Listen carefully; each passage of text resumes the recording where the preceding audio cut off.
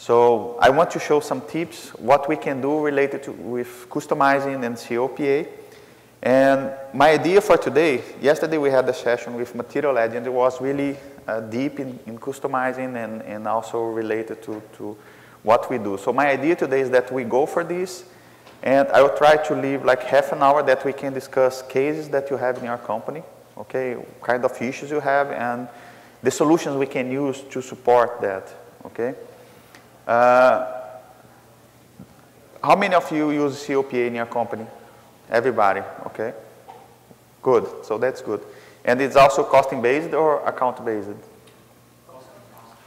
Okay, so I never had a customer that it's account based, okay? So it's also new for me.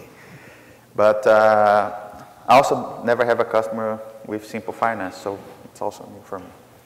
So let's talk about the COPA, okay? Uh, this is the case that I, I, I had in, in, the last 10 years.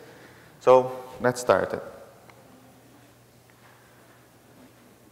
The proposal for today, I want to go for some user exits that we use in COPA that helps for derivation when you have characteristic derivation, also valuation in, uh, uh, uh, for the value fields. Okay, I'm mainly talking about costing-based Uh, uh, COPA, uh, okay, not going so deep in the account-based.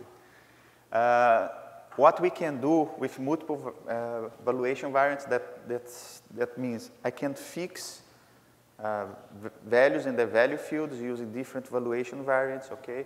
The costing sheets, I don't know if you're using costing sheets for planning or also for actuals to, to, to for example, bring uh, overhead costs to, to, to COPA to, to do some kind of accrual, okay? And we will also see how to correct or fix some issues in COPA documents, okay? Because we always say we cannot fix COPA, we can, Okay, we can reverse, we can delete documents, we can do uh, a lot of things with COPA.